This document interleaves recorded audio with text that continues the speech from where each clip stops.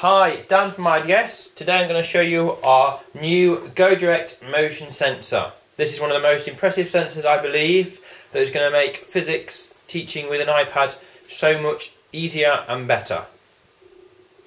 What does it measure? Well, it uses ultrasound to me measure position, velocity and acceleration of moving objects. It can connect via Bluetooth or USB as I'm using an iPad today, I am using the Bluetooth connection method. So first of all, what do I need to do? Well, I need to switch the sensor on, so press the on button until the red light flashes where the Bluetooth indicator is. Once that's flashing, it says the sensor is now ready to be connected to. Now click New Experiment, Wireless Devices, and the iPad will now search for all the wireless devices within the room you need to look for the abbreviation GDX-MD.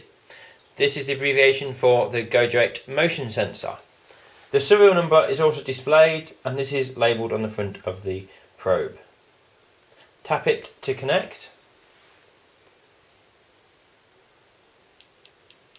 It will start clicking, as you can hear.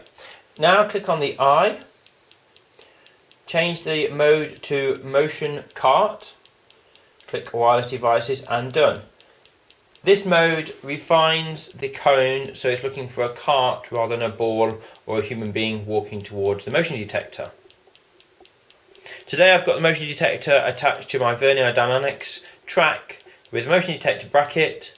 I'm using a Vernier Dynamics cart with a motion detector target and a hoop from the bumper kit. I can press collect and data collection will start, push the cart away, it goes and it comes back.